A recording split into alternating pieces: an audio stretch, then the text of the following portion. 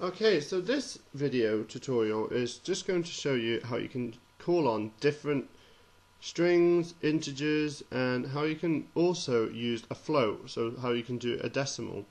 So what I'm going to do is uh, start off by commenting, so program will show the use of integers, floats, and strings. So the first thing I'm going to do is set up my float. Type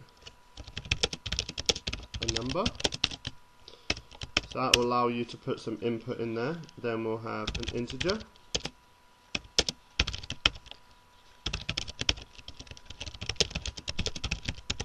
Integer. And then we'll have our text, which won't need to be declared there. Type in a string. Now, what I want to do now is print this to the screen. So what I need to do is type print number equals and like I said because this is an integer we're not using the plus symbol to concatenate the string together. So what I'm going to do is out print what the number is there. But what I can do next is say say the type so the number is a type so you can say what type of number it is. Is it an integer? Is it a float? Then I'm going to print what the number is when it's multiplied by 2. So number times 2. And that will actually print that out to the screen. So let's make this easier to see for the next one. Sorry. So print. So this time we've got integer equals, so this is the text that will be displayed, integer, so we'll display the number, integer is a, you can say what type it is again,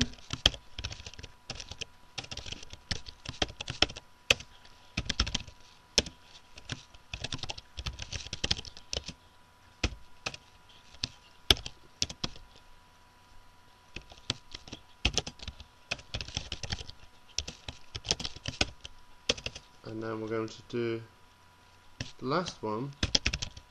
Print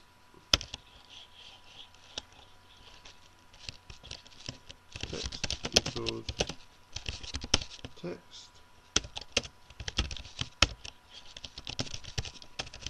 Text say text. And then print text to equals text times 2. So what I should be able to do now is run that and that's going to show me what it is. It's going to show me the type and then it's going to multiply the number by 2. So if I just show you this now, so if I run that it'll ask me to save that. So int string float. So I know that I've used the float for the first one, so I'm going to say 5.5. Integer 5, and I'm going to say 4 there. So it tells you what it is, tells you what the answer is times 2, so you can see what it's done here. Now if I was to run this code again, okay, so put 4 there, you'll notice that all it's done there is actually shown two strings. So it's not actually going to multiply it if you use letters there. And that's just an introduction to using float, int and strings.